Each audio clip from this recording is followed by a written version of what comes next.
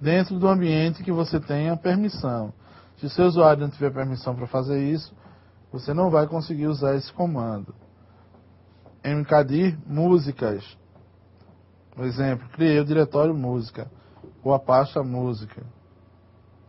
chmod altera as permissões de acesso de arquivos e diretórios. Como assim acesso? Todos os arquivos eles têm permissões de acesso. Leitura, gravação, eu posso alterar, eu não posso, eu tenho permissão de alterar ou não, de gravar aquele arquivo. Então, o chmod faz essas mudanças de permissões nos arquivos. Eu tenho um outro comando usado para comparar os arquivos, que é o diff, diff, diff. Né? Eu posso usar dois arquivos e saber se são iguais ou diferentes. É um comando de comparação. Tem um find que você pode usar para procurar um arquivo dentro da toda a tua árvore de diretórios. Tu podes utilizar esse comando, comando feed, ou dentro de um caminho pré-determinado. Normalmente, quando a gente usa esse comando, é porque a gente não sabe onde o arquivo ou o diretório se encontra. Então, nós fazemos uma pesquisa global mesmo. Comando locate. O comando locate tem como finalidade fazer pesquisa dentro dos bancos de dados. Ele é utilizado para pesquisar de uma forma segura uma informação dentro de um determinado banco de dados, para que você possa buscar informações. Lembrando das permissões de usuário. Cada usuário tem acesso, e essa é uma atividade crítica. Mexer em banco de dados é uma atividade crítica, portanto, evitem fazer isso com um banco de dados em uso ou um banco de dados que esteja sendo usado. Se quiser fazer alguma pesquisa de informação dentro de um banco de dados, não façam com banco de dados utilizados.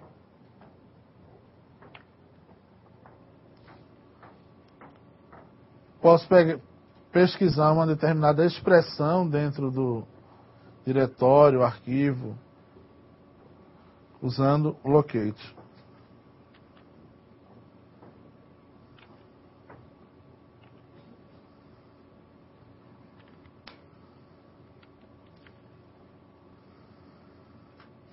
Deixa eu voltar para ver se a gente consegue acesso ao.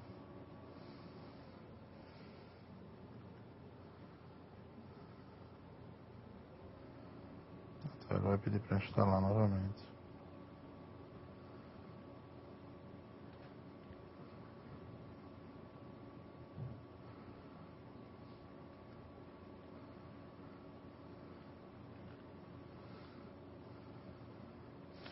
Só um minuto.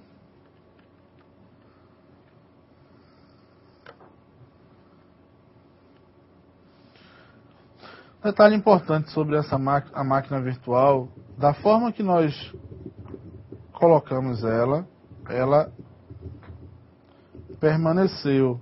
Toda vez que eu desligo e ligo ela novamente, ela vai abrir para mim essa inicialização, porque eu configurei na máquina virtual que ela vai ficar inicializando toda vez que eu executar uma atividade. fechei, ela abriu e ela voltou para. Vamos voltar para nosso, os nossos comandos. Voltar lá para a nossa lista. Nós falamos de documentação, data hora, informações de sistema e arquivos e diretórios. Quando nós trabalhamos com esses comandos, né, é bem verdade que tudo que eu faço, basicamente tudo que eu faço na linha de comando, eu faço na minha área gráfica. Praticamente tudo. Né? Todos os, todas as minhas alterações eu posso fazer no meu ambiente gráfico. Todas as minhas configurações eu posso fazer no meu ambiente gráfico.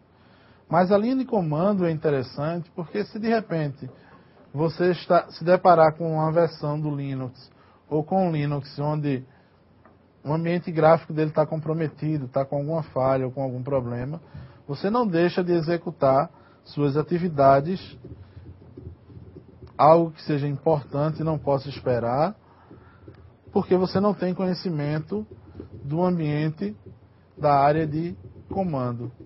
Por quê? Porque esse ambiente é um ambiente onde nós podemos trabalhar independente das outras telas. Acontece, tem um, tem um detalhe importante, né, que nós podemos visualizar. Vejam que na tela do interpretador de comando, como vocês veem aí na, no meu ambiente, no, no nosso slide, nesta tela, eu estou dentro de uma janela, dentro de uma janela do meu ambiente gráfico. Se simplesmente eu minimizar essa tela aqui, minimizar essa tela, eu vou voltar para o meu ambiente de trabalho. E neste ambiente aqui, eu consigo manipular todas as informações que eu preciso. Por exemplo, aqui no canto superior vocês podem observar que eu tenho a data.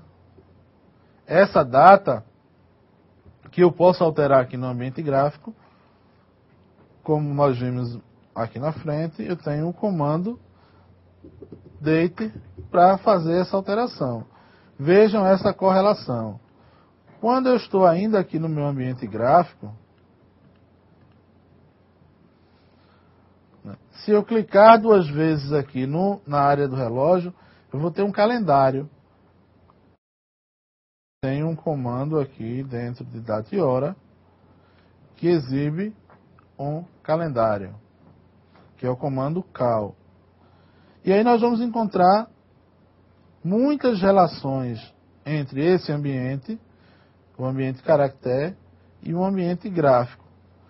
Como, por exemplo, vocês estão visualizando um ambiente onde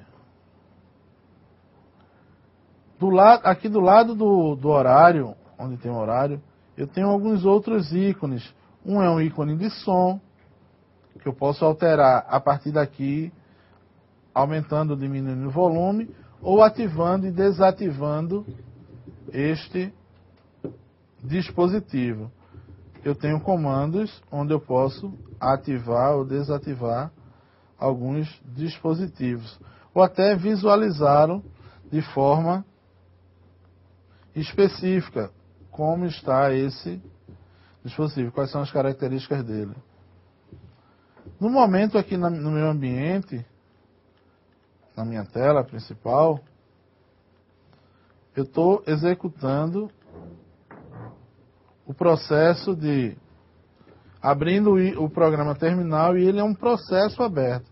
Se eu quiser finalizar esse processo, eu tenho um comando que finaliza esse processo. Sem eu precisar, por exemplo, usar o fechar aqui. Vamos imaginar que não é uma coisa que acontece com muita frequência no Linux, mas essa tela ficou travada por algum motivo e eu não consegui finalizar esse processo. Eu posso utilizar um comando onde eu consiga finalizar este processo.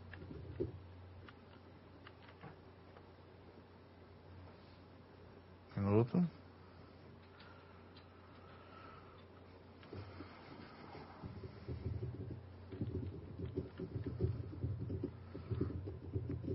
Também posso visualizar no meu ambiente gráfico informações sobre o sistema, as informações de documentação. Eu tenho arquivos dentro do meu ambiente gráfico.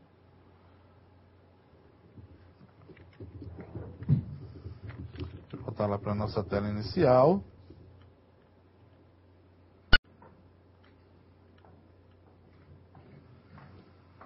Vocês podem visualizar também que aqui na, na área de cima do meu ambiente gráfico está formatado dessa forma, os ícones estão posicionados e as informações posicionadas, porque quem configurou essa tela deixou dessa forma. Aqui eu tenho um aplicativo de e-mail e um, e um aplicativo de navegação. Eles estão aqui minimizados, mas estão aqui mostrados para mim. Eu tenho, por exemplo, o menu System, que é o menu que eu posso configurar as aplicações do sistema operacional.